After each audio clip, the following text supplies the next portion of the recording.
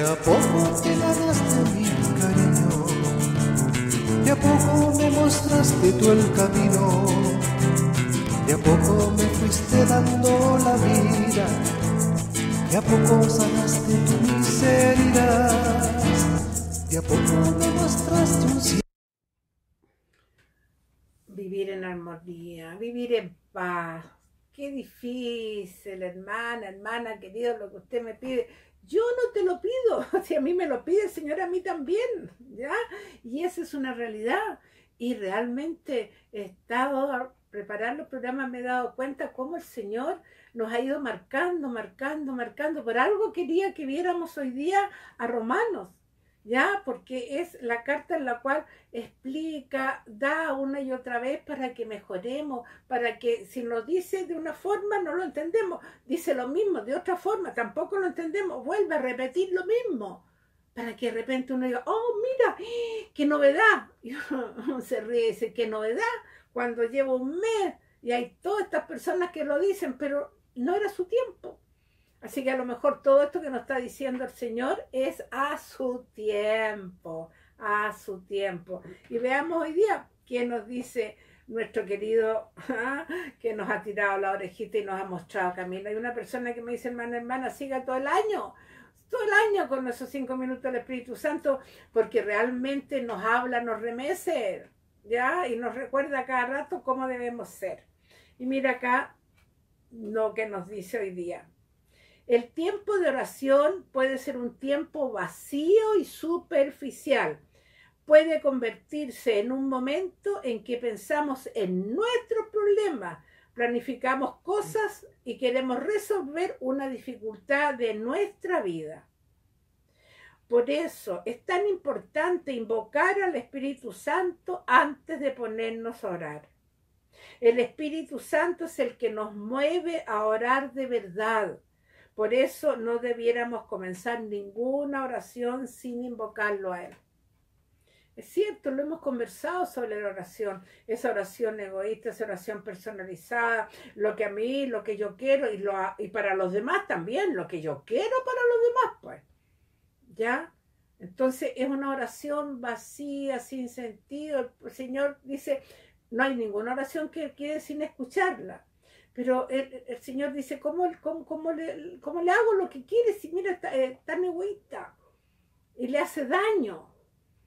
Y por eso manda Espíritu Santo para que nos ayude. Por eso antes de comenzar a rezar, antes de comenzar cualquier cosa, Espíritu Santo, ven, ayúdame, ilumíname. Lo hacemos antes de hacer alguna actividad, pero antes de comenzar a rezar también. Ojalá en la mañana, Espíritu Santo, ven, ilumíname, punto. ¿Ya? Y cuando nos ilumine, hagámosle caso. hagámosle caso cuando nos ilumine, porque de repente se nos olvida. Y le pedimos a ese Espíritu Santo que vamos a comenzar a orar, vamos a comenzar a hablar de esta palabra maravillosa para que nos ilumine, para que nos llene, para que vea qué es lo que nos hace falta y nos ilumine nuestra mentecita. Y mira, en Romanos 15, ya terminando, como subtítulo dice, Jesucristo como ejemplo. Eso es. Pero si Jesucristo era Dios, pero era hombre. Y como hombre nos dio todos los ejemplos. Sufrió, padeció, gozó, se divirtió, fue a matrimonio, estuvo en comida, hizo de todo igual que tú y que yo. Pero en amor, en respeto, haciendo respetar, sirviendo, ayudando, lavándole los pies a los apóstoles. Así que no, no, no, no digamos que hoy como no, no es un ejemplo a seguir. Él dijo, yo soy el camino. ¿Qué significa eso? Que Él es el camino por el cual debemos entrar y seguir. Y mira, como dice en Romanos 15, 2, que cada uno de nosotros trate de agradar al prójimo, buscando su bien y su crecimiento en la fe. Palabra de Dios. Nada más que eso calcula que hoy, que tan largo. No, ahí. 15, Romanos 15, 2. Que cada uno de nosotros trate de agradar al prójimo, buscando su bien y su crecimiento en la fe. Palabra de Dios de nuevo. Palabra de Dios Eso es lo que el Señor quiere, que cada uno de nosotros, trate de agradar al otro. Lo hemos visto cuántas veces en este mes. Y lo hacemos. Seguimos. Bueno, nos quedan unos días de mes todavía, a lo mejor, a lo mejor todavía no sigue insistiendo en Romanos porque todavía no lo hacemos. Y dice, para agradar al prójimo buscando su bien y su crecimiento en la fe. No solo el bien de qué rico que coma, qué rico que lo pasamos bien, de la película, no, también buscando el crecimiento de ese hermano en la fe, que se acerque más al Señor. No, yo soy crecida, pero siempre le va a faltar. Y tú eres la persona que puede ayudar. Así que dile, Jesús, en ti confío, ayúdame a llevar tu mensaje a los que lo necesitan.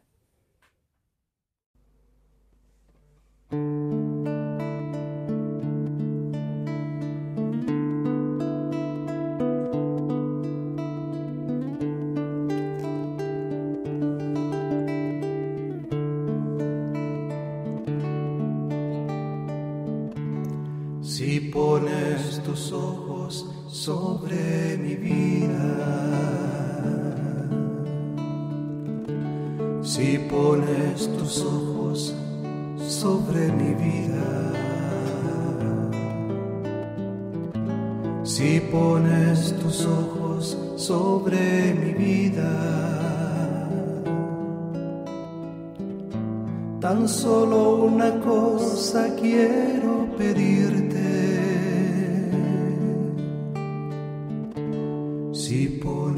Tus ojos sobre mi vida.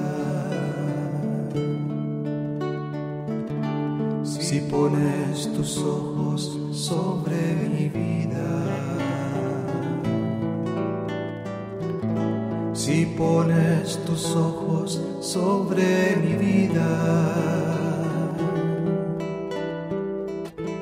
Tan solo una cosa quiero pedirte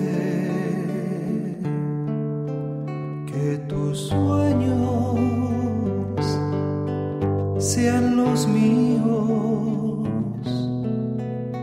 que tus sueños sean los míos, que tus sueños sean los míos,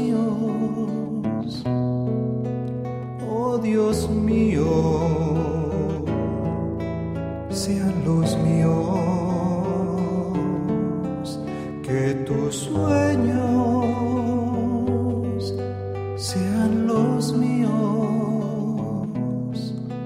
que tus sueños sean los míos, que tus sueños sean los míos,